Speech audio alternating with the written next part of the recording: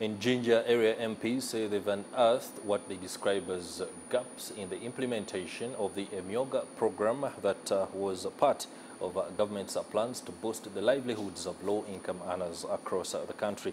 While interacting with different uh, stakeholders, it was discovered that some SACCOs withdrew money, but the beneficiaries remain anonymous, while some unknown accounts in banks received that money. Let's have the details in the following report.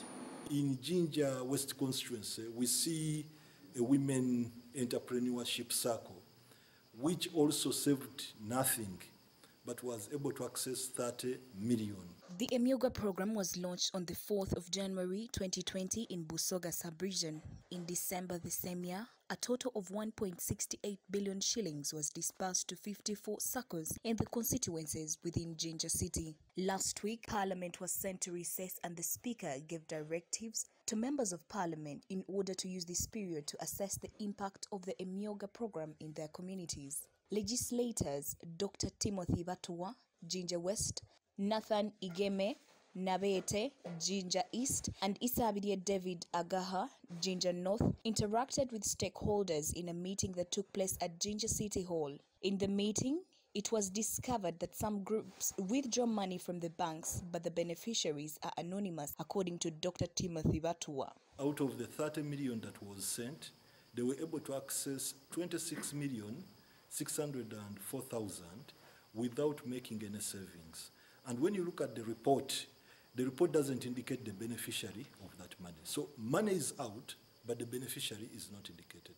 Tumuhimbise Remigo, the regional branch manager of Jinja Microfinance Support Center, said that they are trying to trace the perpetrators. The resident city commissioner, General David Matovu, said the hunt for the culprits is on. Once we, you, you, all of you get, uh, get the concept of Emyooga and that we want its survival and we are equally reading on the same page when I have you on board so that when I, I, I pick somebody and remove his shoes, then you don't call me.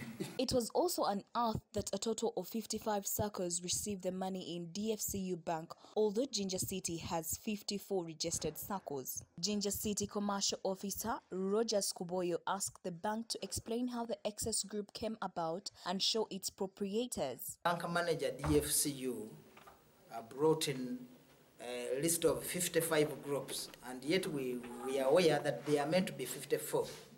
Unfortunately, that the 55 uh, accounts that he brought were active account, and the excess one also had money. I, I think that is an error counted on DFCU. They need to explain to us how that account in those names has that money. A representative from DFCU Bank, however, attributed the mishap to human error. The legislators questioned the criteria of giving out money after it was discovered that some groups received funds before saving any, while others have been denied access to the money after making some savings. The members of parliament called for revision of the Emyooga program. The members of parliament called for revision of the Emyooga program.